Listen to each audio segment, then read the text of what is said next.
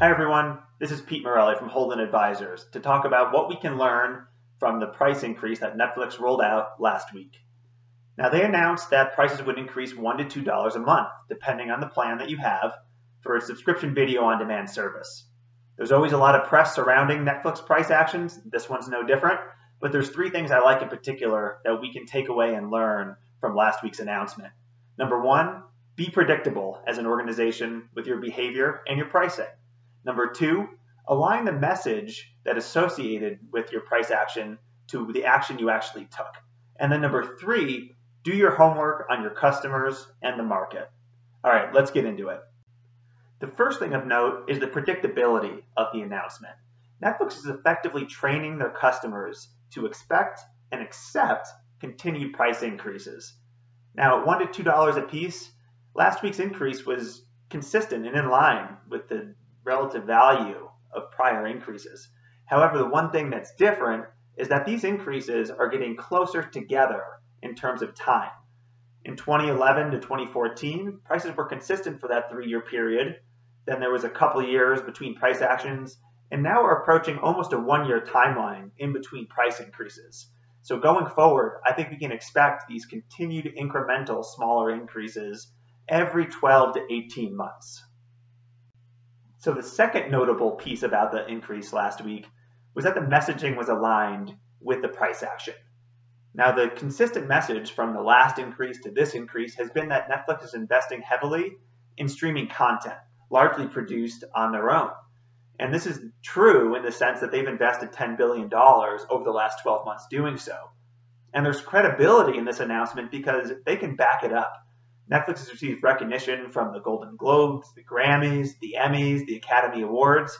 These are high content, high quality shows that customers like and enjoy again and again. Now, the other point about the messaging with the multi billion dollar investment is that it has a nice effect to anchor the message and make customers feel pretty good about getting billions of dollars worth of value for just one to two dollars a month. And then finally, the simplicity of this message and the consistency of it over time has allowed Netflix to just simply roll this out to all customers at once, existing and new, rather than grandfathering in existing customers to delay the price increase. So this will increase the speed to revenue recognition, a big benefit for the organization. So the third thing of note from the announcement last week was that Netflix has done their homework. Netflix, with this price action, there's always a risk of losing some customers or reducing your growth rate, but it's so powerful that they could lose 9 million of their 60 million US subscribers and still break even from a revenue perspective. And by the way, this is not very likely in a business that's growing 25% year over year on a worldwide basis. Now, some alternatives to Netflix in the streaming world are certainly a credible threat. However, as these new providers and existing providers, Hulu and Amazon, DC, Disney, Warner Brothers, there's going to be an increasing number that are popping up, but Netflix has such a dominant position in terms of market penetration. This increase, if anything, provides them more flexibility in the future as they position themselves at the premium offering to be creative with their pricing, whether that's promotional or holding constant as there's more competitors in the space. Finally, there's some network effects that make it an advantage for Netflix to be the leader right now. One is that they're collecting data on all their 60 million US subscribers, suggesting other alternatives that they might like. And this is a very easy thing for consumers to just continue on with their subscriptions, knowing they're getting a product they're comfortable with. And for Netflix as an organization, the revenue that they're receiving now from the customer base allows them to invest more heavily in new content which by the way has a very low marginal cost when you have more subscribers in the future viewing your owned content rather than purchasing it from other providers.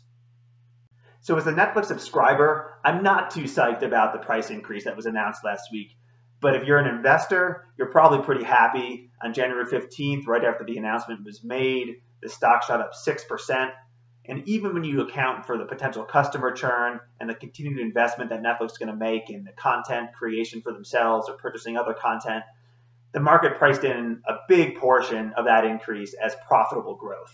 So I think Netflix got this one right this time. I'd love to hear what you think. Additionally, please send me your questions on either pricing current events or pricing strategy in your business, and I'll answer them in a future video. All right, everyone, I'm Pete Morelli with Holden Advisors. Thanks for tuning in.